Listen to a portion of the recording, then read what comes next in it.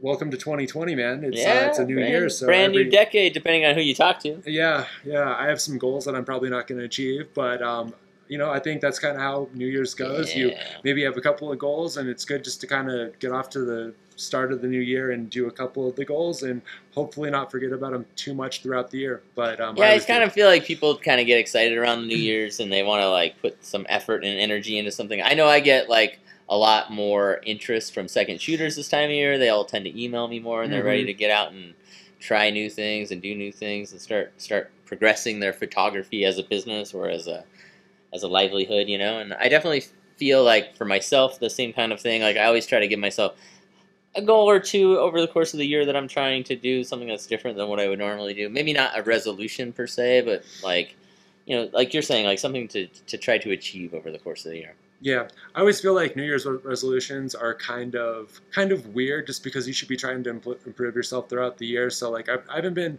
too big on New Year's resolutions uh, for for a lot of years, but um, you know, as I kind of get older, I'm kind of like okay, like I'm I'm less sort of um, skeptical of it. I'm like okay, like it's it's good. So I'm starting to maybe come around to them a little bit more, but Yeah, I, I feel like as I've gotten older, I've been more like I've been trying to make them more about trying to do something that I haven't done that I've been meaning to do, or something that Yeah. I've been trying to get around to that I haven't gotten to so far in life, and then that kind of helps me a- achieve the things that I want in a bucket list without letting another year slip by. You know, because it's easy to let a year go by and then you didn't achieve the things you wanted to do, or you didn't, you know what I mean. So it's good to kind of have goals and be like, all right, in 2020, I'm gonna make a new YouTube channel, or I'm gonna, you know, I'm gonna try this new photography style I've never done, or I'm gonna become proficient at street shooting or something. You know, like I feel like that's a good goal to try and get yourself out of your comfort zone a little, For shake sure. it up a little.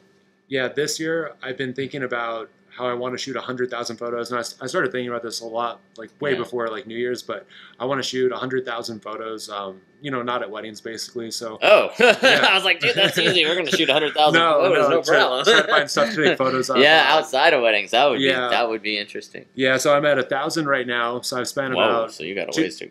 Oh, you got a ways in a, in a yeah, day. yeah. I've spent about two weeks, and I got about a thousand photos. And so if you're going out and you don't have, and they're not portraits or anything, uh, then Right, you're just trying. you're, to you're trying to think stuff. more and you're not trying to shoot crap, then it's like, um, Mhm. you know, if I make 100,000 photos and then 0.05% of those are like amazing photos, you know, and I'm actually trying to shoot 100,000, I'm not just pointing everywhere and shooting like crazy and stuff, Right. then, um, you know, the 0.05% are where it's at. Alex Webb always says that it's like the 0.01%, but I don't know. I think with digital photography, maybe it could be the 0.05%. I mean, I always feel like that too. I always feel like there's just some pictures in every session or everything that I do that are just a lot better than all the rest. Yeah, there- there's some photos that just line up perfectly, and it, it wasn't necessarily you all the time, but it was like the circumstances that lined up with the light, with the people, with the expression, Yeah. and everything just clicks every once in a while. And now with the new cameras, like that with the mirrorless, like you know kind of when you're in that zone because you're seeing it kind of happen on the camera. So like Mhm. I find that I've got that that that 0.1 percent has gotten maybe that period of time. I know I'm like in the nice light and I'm hitting great shots. I might shoot Yeah. more there than I might have otherwise. That, that's one thing I miss about DSLRs is it was more mysterious because I didn't know if I was getting it or not. But I, that's how, fi- not, yeah, that's how film shooters thought when they switched over to right. I mean, uh, something new, you always lose something that you have. Yeah, Yeah, so I feel like that's a thing, and I feel like a lot of uh, new photographers are always coming to me. Um, either they want a second shoot for me, or I get a lot of uh, photographers who are interested in interning and just learning new stuff. And so I always, I always like that part of the energy of the New Year's. I feel like that uh, oftentimes having young blood come into the into the world with you and being interested in in what you do in photography and stuff can help as an older photographer get your gears spinning Yeah. again, get you like like uh, focused on on maybe a different angle. or yeah. I'm going on uh, 47, so I'm starting to get up there in age, and So you're 47. yeah, so yeah, it's, I'm starting to get a little bit old. Um, but I don't think you're Yeah, really that you- old. yeah. but um, well, if you say you're you're older than you are, then I think um, like the internet will think that I look really good. for- Oh yeah, yeah. Dude, you look so- great for 47. Yeah. uh, so yeah, I found that like uh, finding some like photographers um, who were just starting out, who were like like young and excited and stuff. It does kind of motivate you. Like it makes you. yeah, yeah. It brings Yeah. like a bit of enthusiasm to everything. Yeah, for sure. Everything uh, when you're starting out is cool and new and exciting, and Right. Yeah, so I think And once you've been doing it for season after season after Mhm. season, and you've done a lot of these New Year's resolutions, and you've set a lot of goals, and you've tried a bunch of new things, it can a year after year you can get stagnant. And you're like, all right, well, I've already tried a whole lot of things. What else do I do? So sometimes just the the new person coming in can really kind of set things off. You know. Yeah, um, being 53, I sometimes find that. um, but yeah, is there um, anything else that kind of motivates you in photography?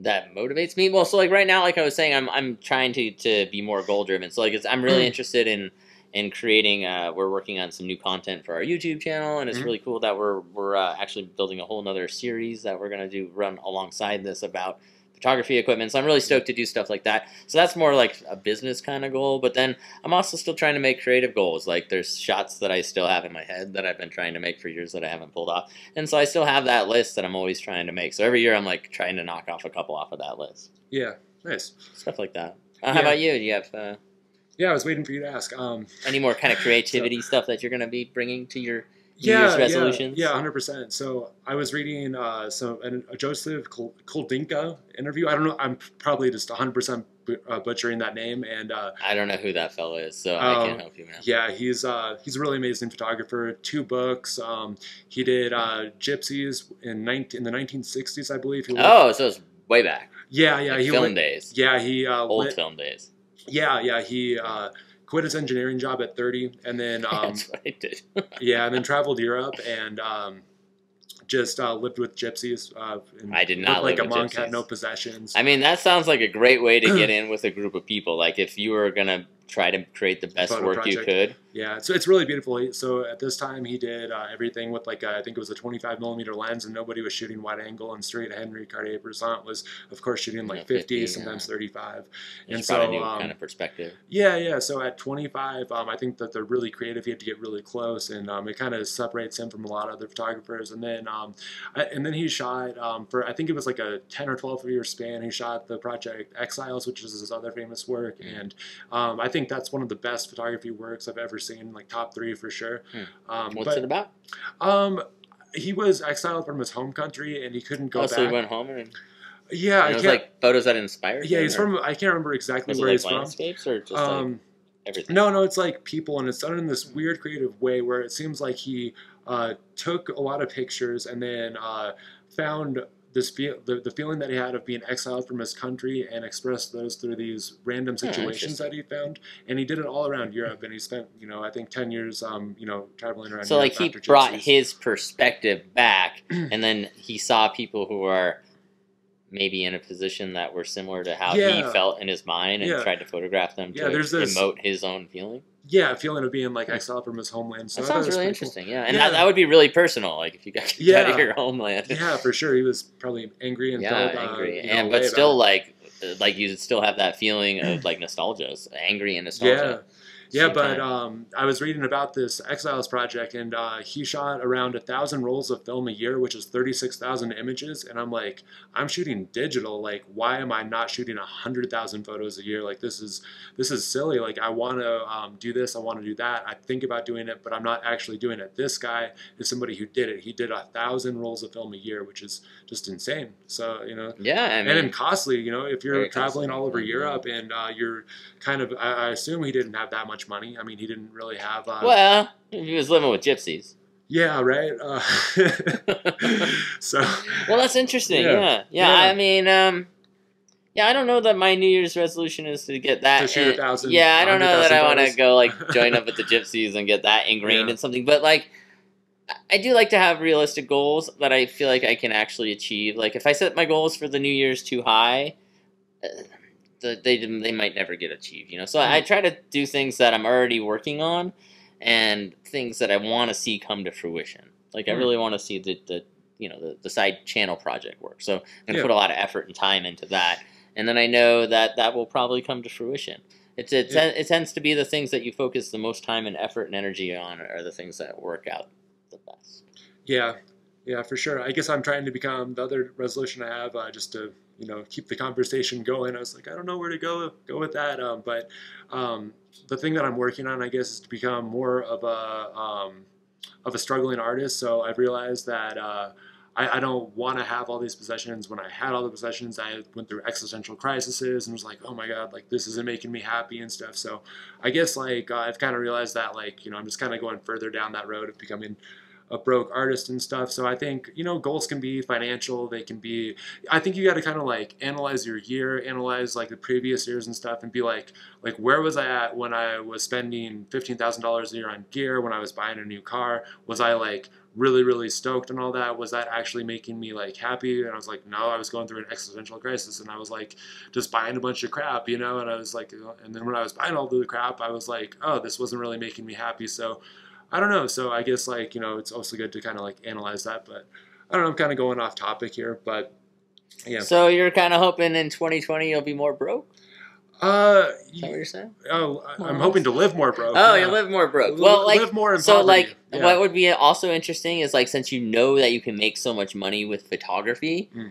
to like uh, with wedding photography, I should say, is like maybe trying to apply your skills to a different genre of photography where you Mm. wouldn't make as much money because then Yeah. you would have to struggle.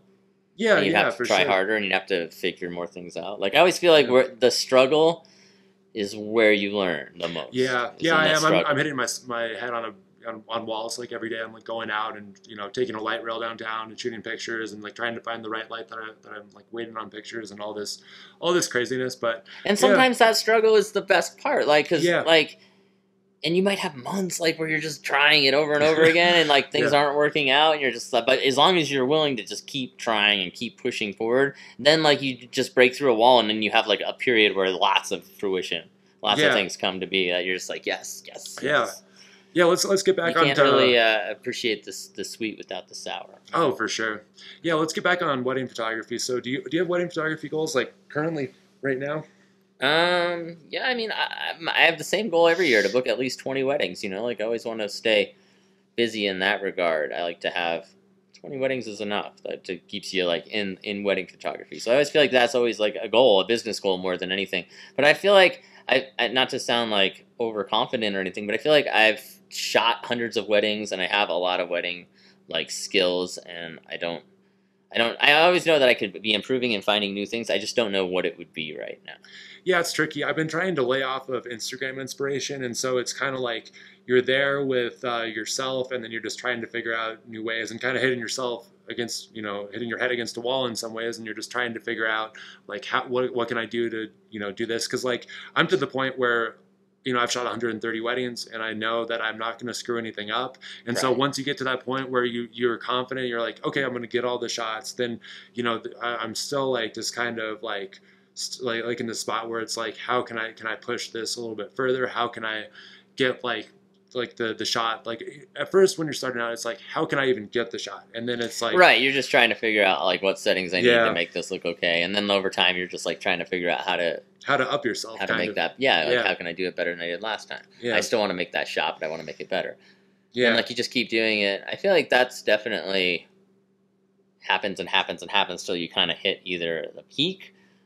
But I feel like the other thing that's really good, like for so like if you get ingrained in a specific type of photography, for like us, we've been doing wedding photography for a long time, so we've got lots of practice at it, and we're already kind of engulfed in it, and we know exactly what's coming every time. But if we did something else, like I always find, like if I'm like if I'm working on the YouTube channel, or if I'm going out doing some landscape kind of photos for something, or I'm just trying to make something way different than what I would normally make, Mhm. that inspires me. And sometimes I'll take that other genre to wedding photography and I'll apply it to my wedding photography. And sometimes Yeah. I'll just do that without even thinking about it. It just kind of Yeah. kind of happens. I think it's year- good though to try to to, to, oh for sure I to can do a lot of different types of photography. of you know? uh, so, like last year. So last year I was uh, scrolling Instagram and there's a lot of of younger uh, photographers who are maybe shooting like fashion or doing uh, like nighttime photography and stuff, and they're incorporating a lot of like neon into their photos and stuff, and like all these different uh, sort of colors at night.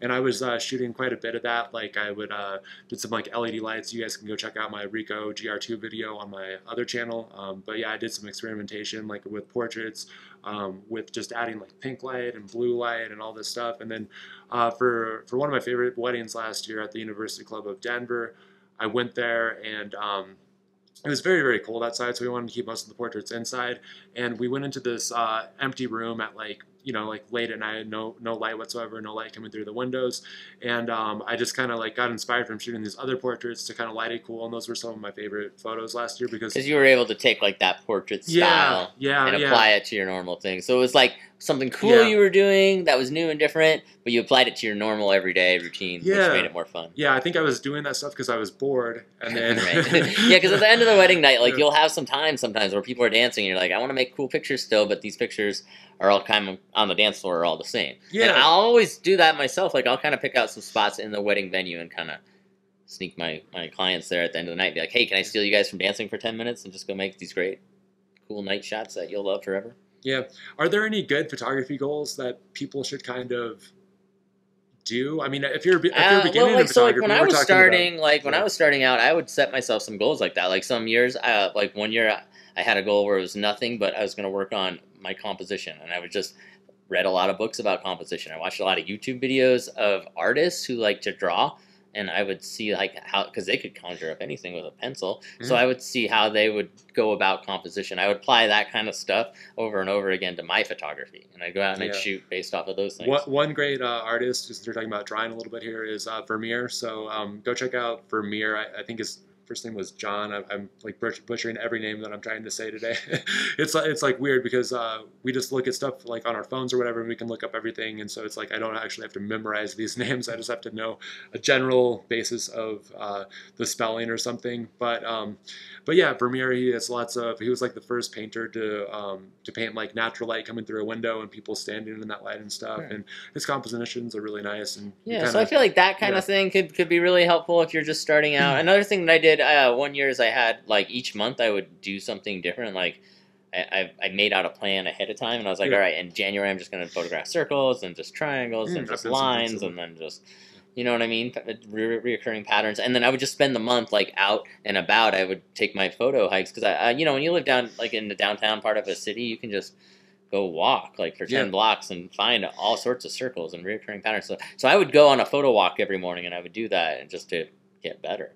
And I I, like feel like that. that helped me a lot. I've done the same thing for colors. I think I had like some Yeah. beginner's photography book that like maybe a family member bought for me or something, and it was like 30 photo challenges or something. And I remember driving all over looking for green and like you know or just like Yeah. whatever You color. just like embark on Yeah. crazy things. So yeah, You'll maybe try to make something. yeah, maybe one New Year's uh, goal if you're a photographer who's kind of in the beginning stages is maybe to go photograph uh, certain colors for a whole day. Maybe like spend a whole week doing like like all, all different colors or something, and only photograph uh, those colors that day because it'll make you uh, see different things and uh, kind of understand the color better. And then like uh, Yeah, yeah, and the- eventually you could end up with like a really cool like collage. yeah, Like, yeah, for sure. shots. Yeah, when I was like I was- in my first year of photography and I put all the photos together in like collages and stuff and Yeah, so you can just see like them that. together as groupings because it's interesting to look at your pictures as more than just the one photo, but how they could work together in a series.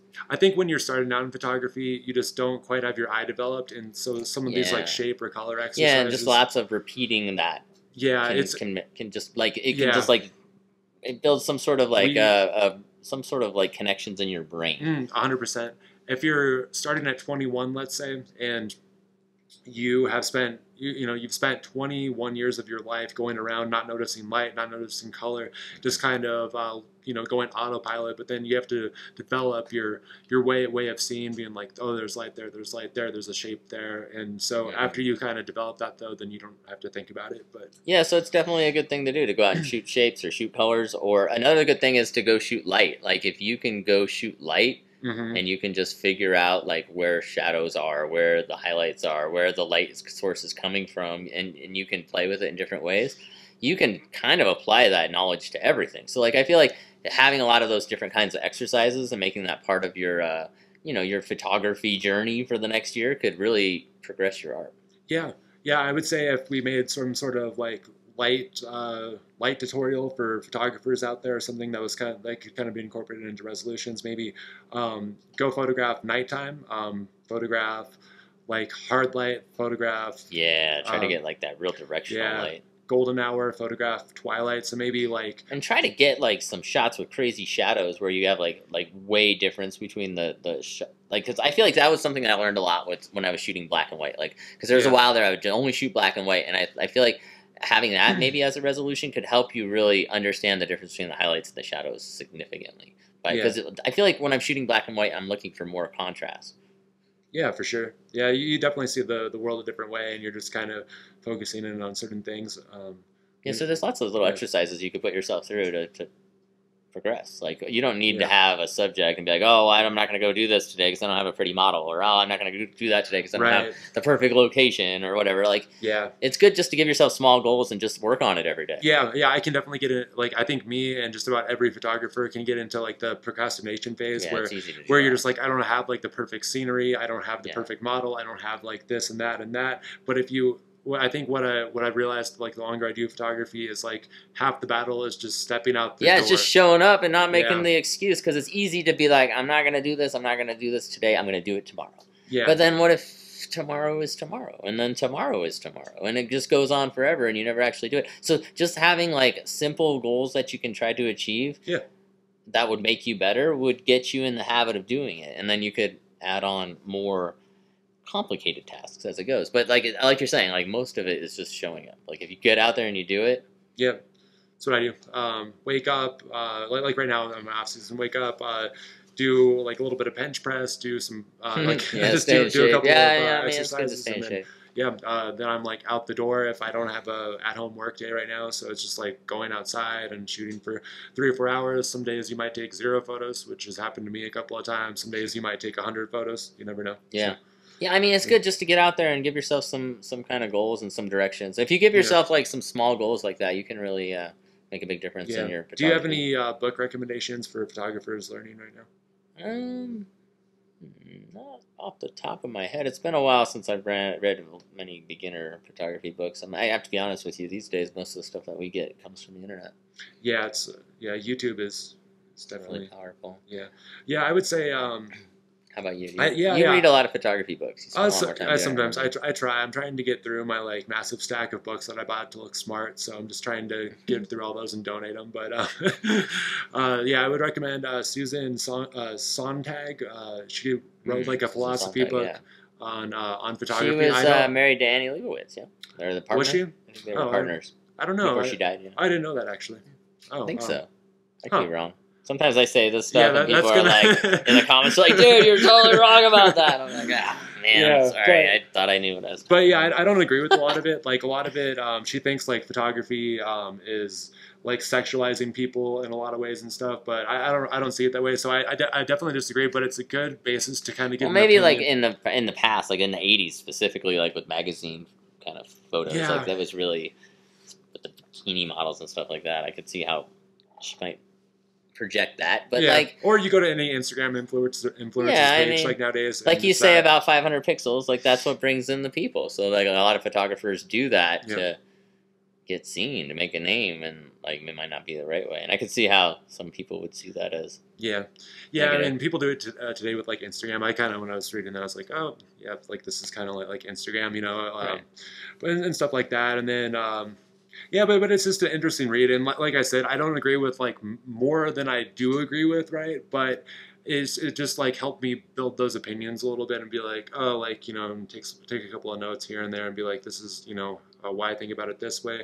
She sees, um, you know, and it, it was made a couple of decades ago, so it's kind of interesting how she goes into um, sort of snapshot culture, maybe like 30 years ago or 40 years ago, and how she was kind of talking about how people don't need to have their cameras out on like a vacation to like snap with their brownie camera and stuff. Um, Mhm. But yeah, and it's kind of just interesting to apply it to today's world. Um, the Tao of photography is pretty good. The art of photography is pretty good. Um, I think the art of photography, it's like one of the first results on Amazon. I remember reading that a couple years ago, and and I got quite a bit out of it when I was just learning and very confused, you know. So, yeah yeah and i Yeah. think that like you could definitely learn a lot by reading some books and then Yeah. giving yourself challenges but i feel like you have to get out and do the challenges like if Oh, you yeah. just read the books and you don't like actually go through the motions and do the photography lessons and like try to get yourself thinking like Yeah. that it's a lot harder to actually get those skills Yeah, and uh, to get you thinking about the stuff a little bit more, I, I find that some documentaries do help. You can kind of go overboard and just kind of get into like a brain mush of like photo documentaries. especially not, if you have off seasons and you have a long period of time to do so like you can do Yeah. it for weeks Yeah, I, I highly recommend uh, Robert Frank's uh, documentary. I can't remember the name of it, but just search like Robert Frank documentary on Amazon. Uh, really, really good. Um,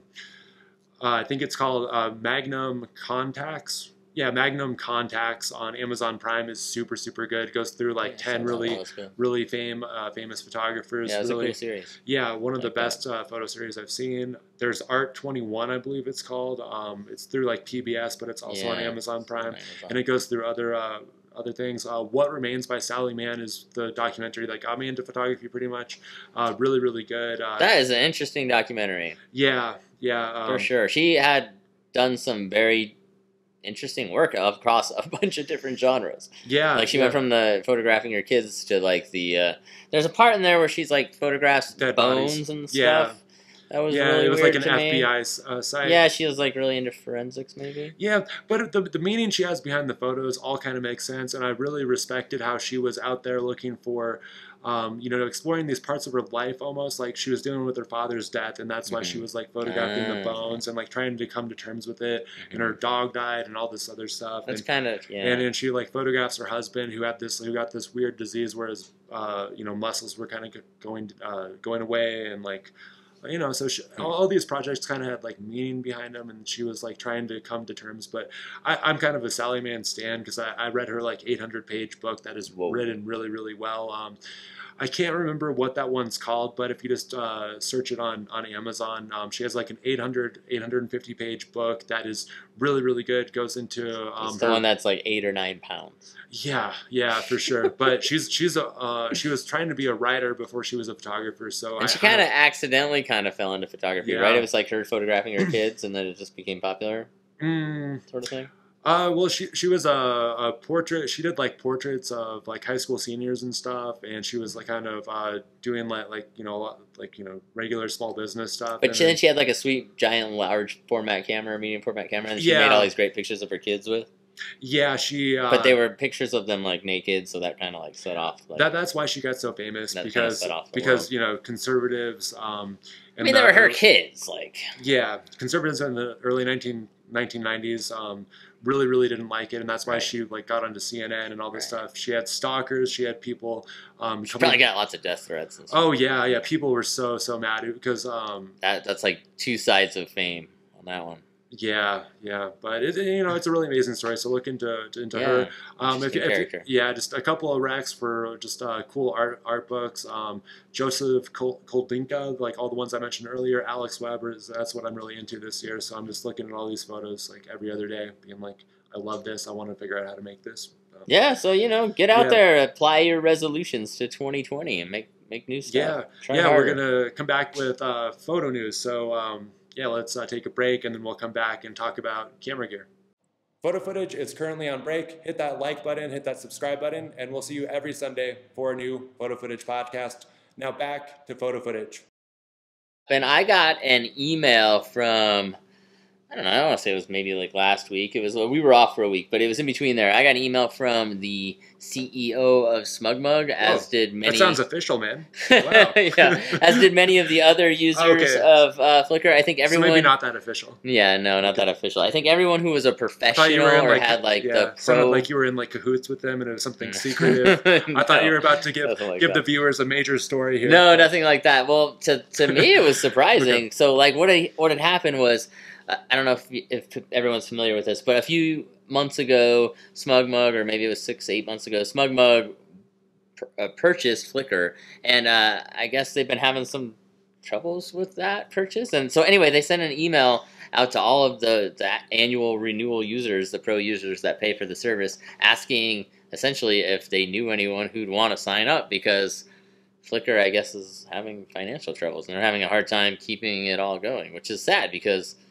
I love Flickr. I think Flickr's cool. And uh, many other photographers do too. So, anyway, it's very interesting that the CEO would publicly ask all of us to like grassroots in more more photographers essentially. Yeah. Um, first of all, I want to address my use of cahoots. It's a really funny word, and I apologize to the viewers for using. Uh, Oh, I thought that was like some new social media service or something. I was like, no, it's, "Cahoots? ju- it's a joke. Cahoots?" No. Oh, it's a bad joke. but uh, Dude, you're not even a dad yet. All right, but uh, yeah, actually, on to I was just like that was in my head the whole time you were just talking, but I was trying to listen to. Uh, like, all right, so- but but yeah, like like it seems like like all the photography based social media kind of uh, has the same thing going on. Like they're they're kind of struggling and like they can't get you know have like a big reach like Instagram or even Snapchat, TikTok, all these social media platforms, and so they're trying to compete with them and they can't quite figure out how to make money and it, it just kind of sucks. Like it sounds yeah, it just really appeals to photographers mostly. yeah, and there's not that many photographers, and it's it's sad to see these services um, kind of going, not not going downhill, but just they can't afford um, to keep everything as nice as they would like. It sounds like, and they're kind of Right. struggling a little bit, having to ask people to subscribe uh, for you know X amount per year, and you know trying to figure it out. But and trying to get their their member base to to get other people. I mean, that's like a real cry for help, in my opinion. Yeah, yeah. I mean, I hope uh, Flickr stays stays open and going and stuff. But yeah, I'm at 750 pictures on Flickr right now, and you know I'm approaching 1,000. And I guess once I approach or get to 1,000, then I'm gonna either have to buy the service or, um, you know, decide to delete a bunch of photos in the backlog. So Is that is that what they said?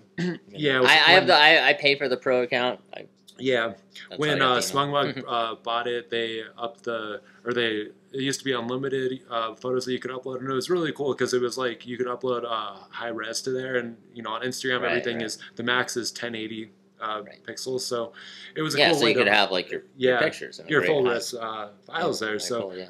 yeah, but hopefully they figure it out and they stay open. I don't know what else to say, but Yeah. Anyway, so that was uh, one of the the happenings in the news today. Another thing was the uh, I saw that the X100V, the next iteration of the uh, Fuji X100 camera.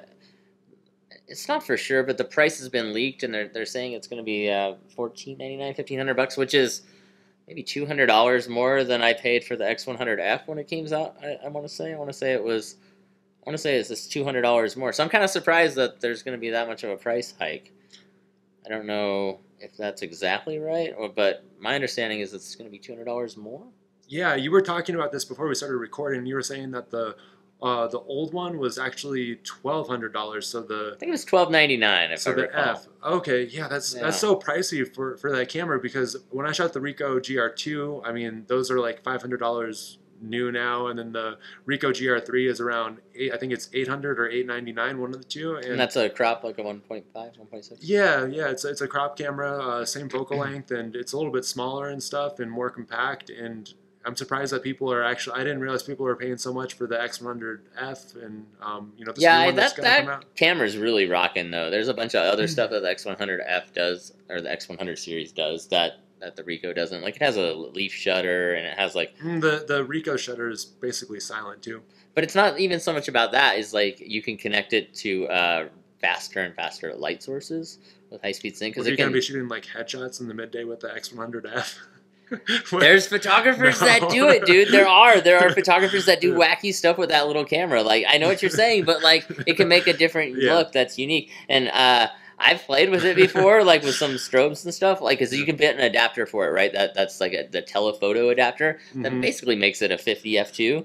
And you can do that with the crazy lights, but it, it looks weird still. I, I- it wasn't for me, but like yeah, some photographers love that kind of stuff. Uh, if you're gonna buy some sort of compact uh, crop sensor 35 millimeter equivalent camera, just buy the Ricoh GR2 or GR3 because the the uh, lens actually comes in. So my girlfriend has a X100S or something, and you can't fit I it mean, your if pocket. maybe if like it was your function was the portability. Mm.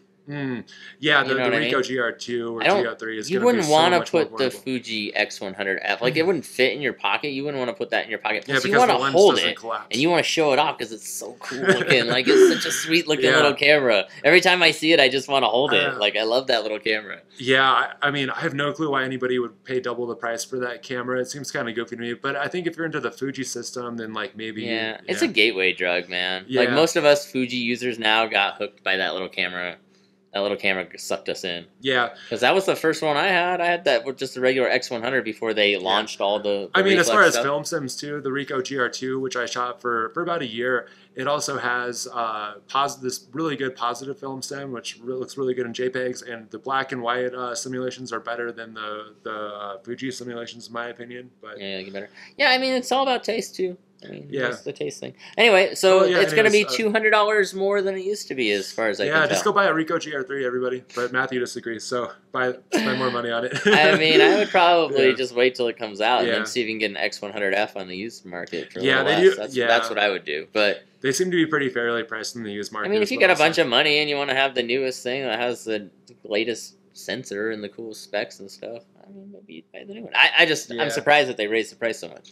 Yeah, yeah, that Yeah. seems like a lot for a fixed lens camera, but maybe it'll have some features we don't we don't know about or something. But Yeah, never know. All right, so um, yeah, let's just talk about since we have sort of a short news week. Let's talk about a couple of interesting cameras um, of 2019. So this last year. So I think that the the iPhone Pro was actually a really interesting camera. What do you? I mean, you obviously agree the iPhone. Well, I have the iPhone 11. I don't have the Pro version. I, Yeah. Mine just has the two cameras. It has Yeah, the uh, same wide cameras angle though, and the regular. without the telephoto. Yeah, it just doesn't have the telephoto. Yeah. But otherwise, it's the same. Yeah. Yeah, I really, I like to me, that's one of my Mm. favorite cameras, the iPhone camera. Like it's Yeah. always in my pocket. I use it all the time. I use the video functions to record my, my kiddo all the time. Like I use it to to to capture life. So in a way it's like a it's like a recording device like for so I can remember things, but at the same time like it's one of the most used cameras that I have. I don't use it as much for artistic purposes though. It's more for yeah. document. Yeah, I think it's it's really interesting that this camera on the iPhone uh, 11 and 11 Pro is so so good. Like you've never had a camera this good and as many options in uh, in any other cell phone before. And the colors are amazing on the iPhone 11 Pro and uh, iPhone good, 11. Yeah, it looks nice. Yeah. And I'm surprised because like when I first got it, I thought like when you would swap between cameras, you would notice. And sometimes you do like you'll you'll notice it kind of jitter between two, but it's pretty fluid overall. And Yeah. also, I didn't realize that I wanted that wide of an angle on that kind of like on my phone. I didn't realize I wanted it until I had it. And Yeah. then now that I have it, I find myself using the wide angle camera a lot, Nice. a lot. Yeah, yeah. I think. Um, I, I mean, I will say about the that wide angle camera. I wish it was uh, f 2.0 instead of uh, f yeah, it's a 2.4. 2.8. Two, I think There's a 2 2.8. 2.8, 2.4. It's not F2 though, no. Yeah. I think Yeah, it's it's- 2.8. So Something I think that. that they're saving that for this next year. They'll probably, um, you know, open up the aperture a little bit if, I if think I it's had a to guess. 26 millimeter. But it's equivalent. still, yeah, it's still really cool that you can get that perspective and for like, yeah, yeah, right. yeah, and it really opens up a new form of photography for people who have been shooting on iPhones forever. So they've never got that that wider angle. They've never uh, been able to see that, and you don't even have to move. You just press it on the screen, and they're like, "Oh, this is how like this looks wide." And so maybe it'll get more people into using wide angles, or you know, just um, a new thing. But yeah, people kind of became more savvy to telephoto photography and bokeh and stuff when the iPhone uh, X came out or iPhone uh, Plus series, and uh, they were able to add the bokeh. Yeah, that's kind of interesting because like Yeah. you wouldn't you, you kind of think like this kind of photography being so computerized in a in a can in a phone and being ha- had by so many people would like in a way cheapen photography and make it less accessible. But if they kind of are interested in that look and that aesthetic, then it makes our jobs more important to them. Like And it makes us uh, more more prevalent. Yeah, nowadays, if you're starting out or you just uh, are posting to Instagram, basically, so if you're not posting uh, big high res photos or hoping to get them um, right. printed or anything, then man, why not? Why not just buy an iPhone Pro, edit in Lightroom Mobile, and freaking blog? And you Do- have three. You can make a website. you on have your phone three that- lenses all the time. Yeah, like, you, you, could literally have just one one device, and you could shoot over and over again, and you know you could make amazing results with uh, with those cameras. I mean,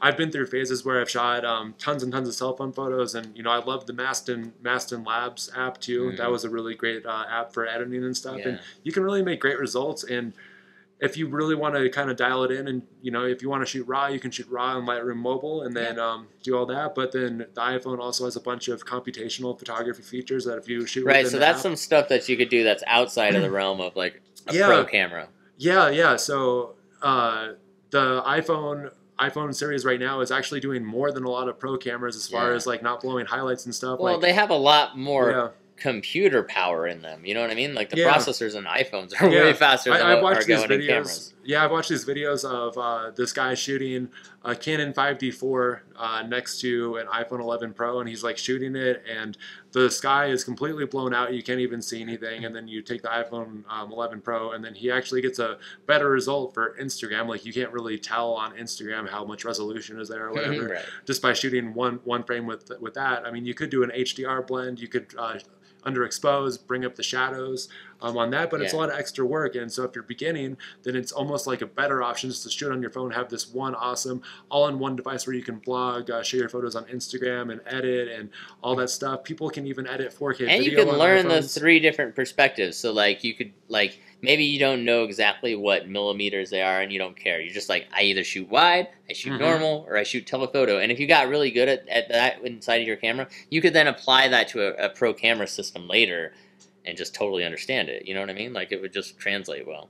So i feel like the iphone 11 was definitely one of the best cameras of, tw- of 2019 for sure. Yeah, I, I love the focus on the cameras, and uh, yeah, I think it just makes a lot of a lot of sense for Apple to do that right Yeah. now. There wasn't too much image many. stabilization in it too It's just phenomenal. Like on the video, Oh yeah, like I can run Yeah. around with my kid and it doesn't look like the Blair Witch Project. You know, it's great. It's it's fantastic. That was you know? good. It's it's really helpful. You know, Yeah, but but yeah, I mean, if you're starting out in photography, you should definitely uh, go go buy the um, the iPhone 11 Pro Yeah, or iPhone 11. or even the 11. Yeah, if you're just if you're not if you're not into that kind of contrived headshot look, I think like I, I've noticed a lot of like Instagram influencers, right? They're uh, shooting more on like the the wider lenses in the iPhone, and they're uh, not shooting like more like like headshotty type stuff with bokeh. yeah, more like, about the scene Yeah, and like trying to make yeah. cool compositions. yeah, if you're just shooting for for Instagram and you want some, you don't want anything like kind of that looks overproduced, man. It's just it's great. You know, you don't have to go buy you know a 35 millimeter and and um, a camera. You know, so Yeah, exactly. Yeah. So anyway, Yeah. that's one of my Yeah. favorite cameras of So- 2019 for sure. yeah. Back onto slow news week here. Um, I thought we could talk about the best used cameras to buy in 2020 and Used cameras. Yeah. Yep, yep, best uh, used cameras. So these cameras might be priced well. They might be, um, you know, just uh, you know, So, but to still, our own perspective, like what's your favorite and what's my favorite? yeah, camera? yeah, Okay. used cameras. If, uh, if I was going to 2019. recommend one camera yeah, or of 2020. Sorry, so. Uh, in 2020, but yeah. it'd be a camera from the past. But now there's yeah, I'm not doing great at talking today, but Okay, I got yeah. you. So uh, best used cameras of 2020. Let's go. Um, go. Yeah, just maybe start Probably the XE3. I think you can get the uh, Fuji XE3 without a lens. I think you can pick up one of those on the used market for maybe 400 bucks now. Mm, you could buy a Canon 5D Classic for that much money though, and it's full frame. Why wouldn't you just buy a full frame camera?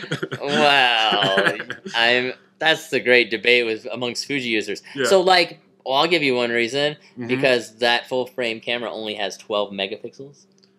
That, the that's XT3 true. has that's true. 24 megapixels. But you can you can print like an 11 by 14. You can print a 20 by 30. Even I've heard photographers claim that online with 12 megapixels. So I mean, why do you need more megapixels? I prefer Wouldn't to you have. rather have like the look though? The look of no, full no, frame. I don't. No, I. You know, like that was the funny thing is like when I went from Canon shooting to Mhm. shooting the Fuji system, I didn't miss it at all. And in fact, I feel like when I was shooting full frame, I was relying on bokeh way more than I do now. I have Mhm. to try a lot harder, and I can't like just phone in some shots that I used to just be like, oh, I'm just gonna bokeh that out. Yeah. I it's like so to me, like I feel like having a camera that's ten years newer. Like the when did that co- camera come out? The the 5D Classic in 2003, Was it? 2004, I don't know. Maybe. I mean, that thing is ten years older than the XE3. Yeah, the but, but batteries, what's amazing about it? What, like what's the- amazing about it is the CCD sensor and the colors you get out of it. I still miss the colors from that 5D Classic. It's So, so, is that your recommendation for people? They go get the If 5D Classic in Uh, 2020. yeah, if you have uh, 300 bucks, like I was looking on eBay and I saw some well, for so 300, the XE3 350. would probably be 400 bucks. It'd be a little bit Hmm. more. Yeah, but if you maybe have, um, you know, you can buy that and like a nifty 50 and you can get like such a good result at golden hour, I think. And yeah, like but the that's like colors kind are of a so classic-y look. Like it's gonna look like more like 90s-y than the Yeah. Fuji. Like, the Fuji's gonna give you more dynamic range. It's gonna give you a sensor that's more more. I now. guarantee you, in uh, 10 years, hipsters are going to be shooting the 5D Classic for the CCD colors.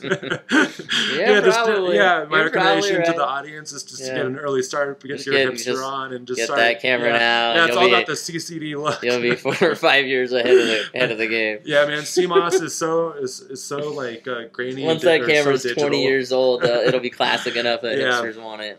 Yeah, That's interesting. But- yeah, I don't I don't agree with you at all. I would not shoot that Canon camera over the Fuji. No way. And the Fuji camera is uh in 2020 for 400 bucks. That's uh, to me that's just a steal of a deal. Like I don't I don't know many cameras that that could outperform that for $400. Aren't the lenses going to be so much more expensive? Yeah, though? you're going to spend money on the lenses. Yeah, yeah. Like this Canon But you could this. get like the cheaper yeah. lenses, like so they have the Cron series, like that's like the underneath their Pro series that are f2 lenses. how much is a, really how much nice. is a used 35 millimeter equivalent for for like a Cron one? Do you know like the approximate cost? for a 35 millimeter. Yeah, So like if you were to get a 35 millimeter f2 equivalent on Mhm. that, um, I think that that's the 20. They have a 23. I think it was a 23 f2. That's like want to say it's 399 brand new.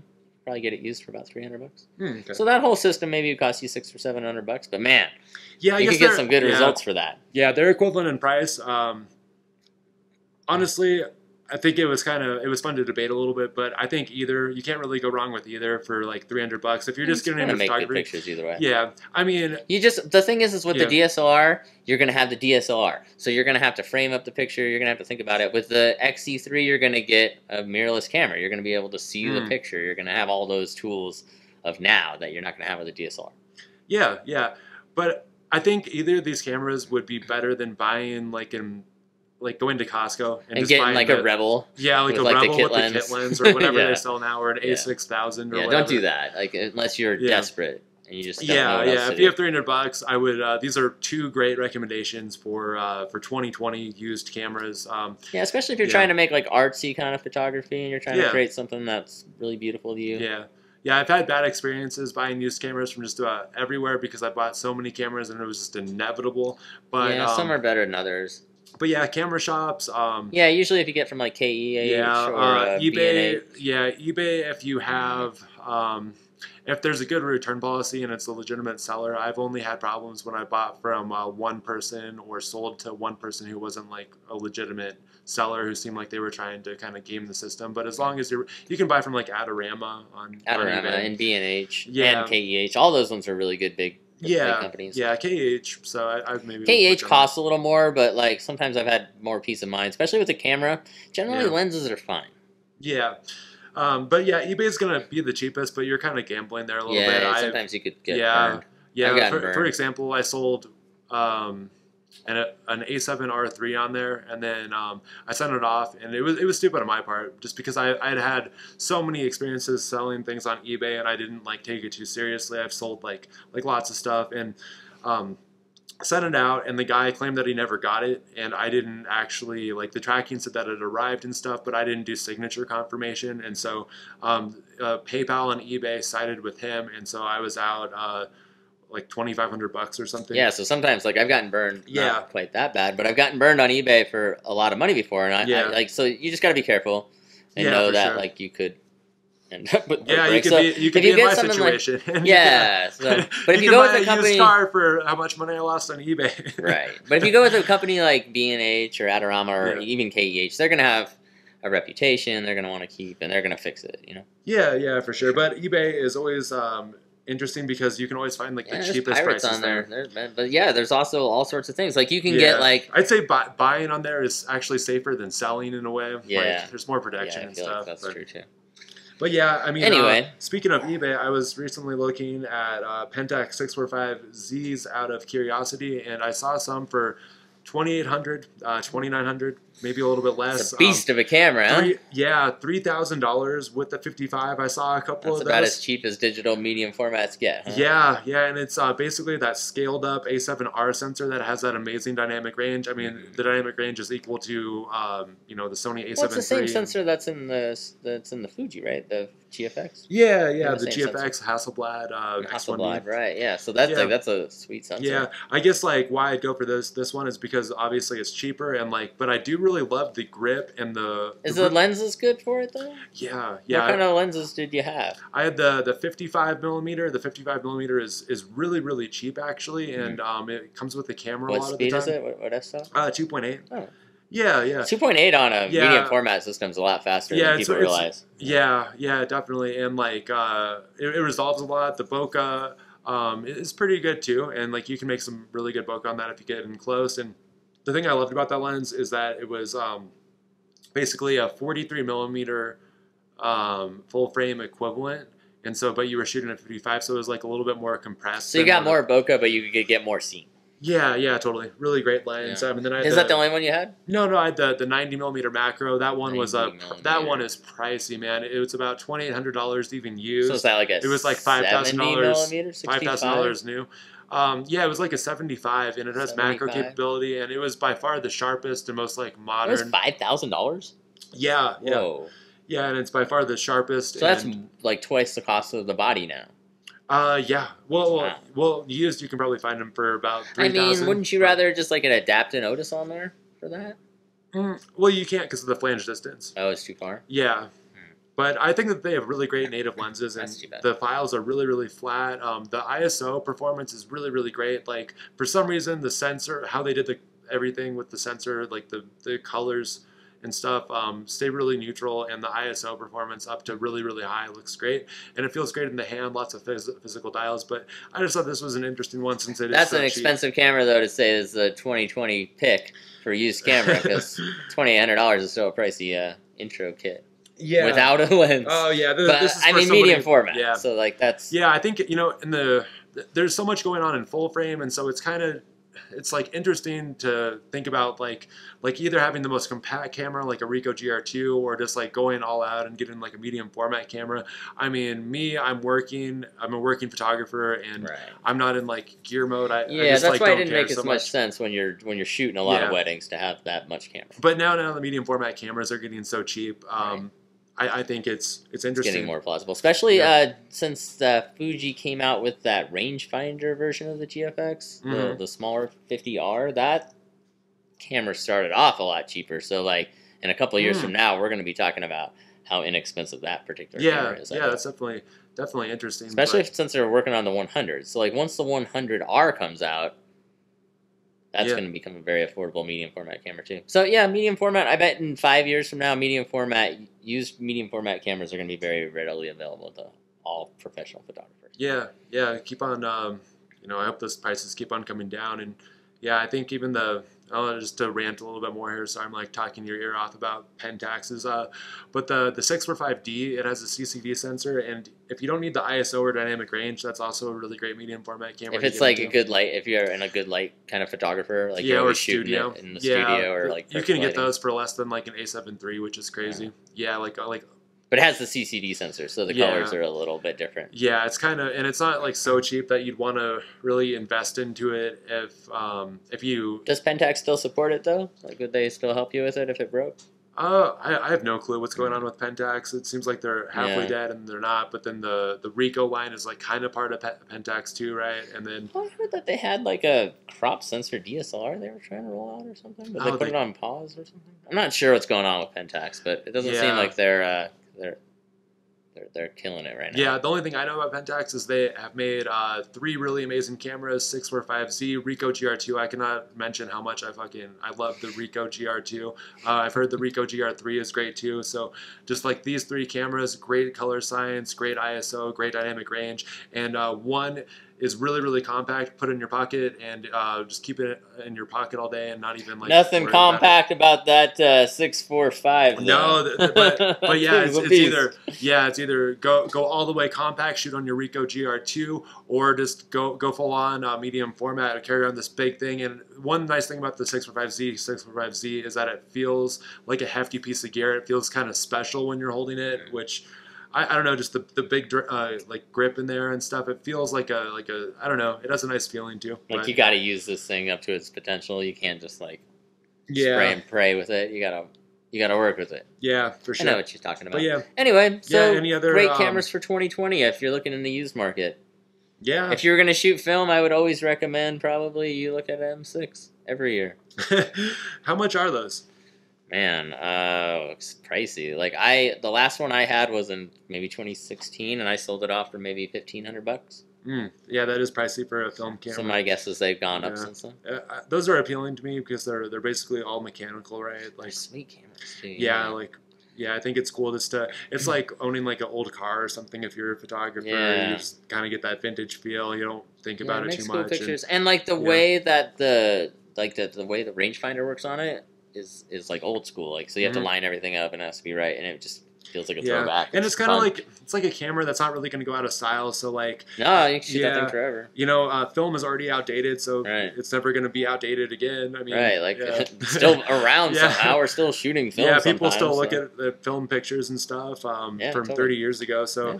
yeah, it's nice knowing that you're shooting on an already outdated format and you don't have to think about the gear. That's Yeah, that's the nice part Yeah. about having an older system. It's Yeah, like then- I'm not gonna get the new thing because there's no new thing. I always hear like car people talk about how uh, how like power steering kind of ruins the experience compared to like an old like Right, right, Porsche right. or something. And Yeah, so, and if you used to yeah. shoot that kind of camera all the time, and you're just kind of used to that old school film camera, that's what you want for sure. yeah, Anyway, 2020, yeah, brand new year. Brand yeah. new Buy a buy an M6, Pretty buy a 645Z, buy a Ricoh GR2, uh, buy a Fuji. You know, buy just buy all the cameras. Yeah, get a bunch of cameras and fulfill your 2020 uh, Yeah, and then goals uh, with them. yeah, buy all of them, and then realize that you don't actually uh, need all this camera gear, and then like sell it off maybe next year, and then maybe just shoot one camera and try to become a good photographer. That's that's my advice. Yeah,